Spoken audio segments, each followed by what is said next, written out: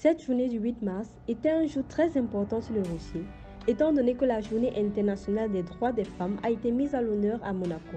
Ainsi, comme d'habitude, la belle princesse Charlène de Monaco était au cœur des rendez-vous de cette incroyable journée. Avant un hommage à Alice Millet, la princesse Charlène de Monaco a rencontré plusieurs autres sportifs au cours d'un déjeuner spécial qu'elle a elle-même présidé en ce jour. En réalité, pour beaucoup de personnes qui l'ignorent, la place des femmes dans la société et surtout dans le milieu du sport tout particulièrement est une grande cause qui passionne la princesse Charlène de Monaco et pour ce prince Albert de Monaco.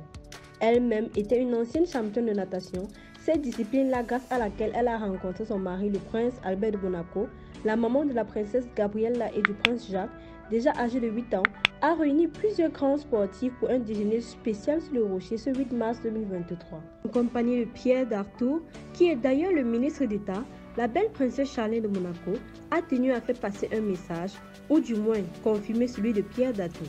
Un message selon lequel la défense des droits de la femme est bien évidemment au cœur des priorités du gouvernement princier depuis plusieurs années. Cependant, ayant opté pour un tableau bleu pastel de la marque suisse Acris, qui est d'ailleurs sa marque préférée, et des talents aiguilles Dior, la ravissante princesse Charlène de Monaco a pu rencontrer des sportifs de la principauté en l'instar de Laura Gramalia,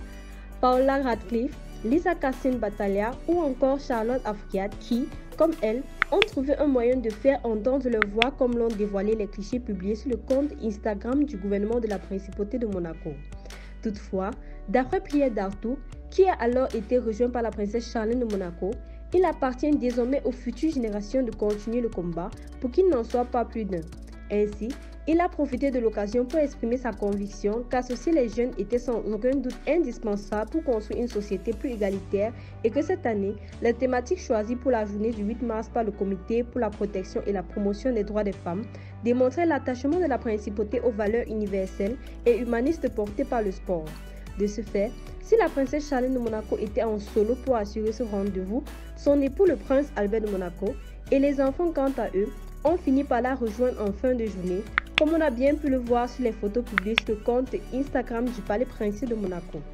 Cependant, le prince Albert de Monaco et la princesse Charlène de Monaco, ainsi que leurs jumeaux Jacques et Gabriella, se sont réunis à l'espace Saint-Antoine pour dévoiler un portrait inédit de la figure du sport du début du XXe siècle, à savoir Alice Milliat, sans qui les femmes n'auraient peut-être toujours pas leur place aux Jeux olympiques aujourd'hui. À cette occasion, le tableau, signé Mr. One Cheese et en collaboration avec plusieurs écoliers, a donc été dévoilé par la belle princesse Charlène de Monaco, le prince Albert de Monaco et leur enfant Gabriella et Jacques.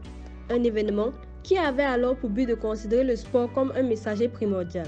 Dès lors, que pensez-vous de cette nouvelle apparition magnifique de la princesse Charlène de Monaco et de son époux le prince Albert de Monaco en compagnie de leurs enfants Jacques et Gabriella? Laissez-nous vos réponses dans les commentaires et nous vous donnons rendez-vous dans nos prochaines vidéos pour plus d'informations sur la famille princière monégasque. Merci encore et à très bientôt.